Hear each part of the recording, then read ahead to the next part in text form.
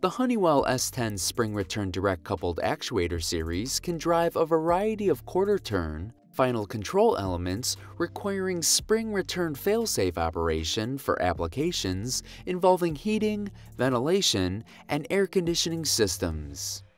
Available in MS4110, MS7510, and MS8110 models, these spring return direct coupled actuators have a self-centering shaft adapter for compatibility with 3 8 to 1.06 inch, 10 to 27 millimeter round, or 3 8 to 11 16 inch, 10 to 18 millimeter square damper shafts.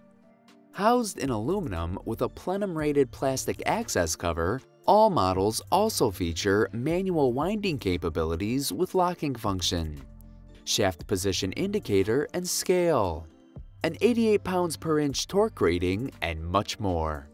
UL listed and CE compliant, all models come with a mounting bracket, self-centering shaft adapter, and a 3mm crank. For more information on the S10 Spring Return Direct Coupled Actuator series from Honeywell, visit us at galco.com. And don't forget to like and subscribe to GTV to be notified when new videos are posted every week.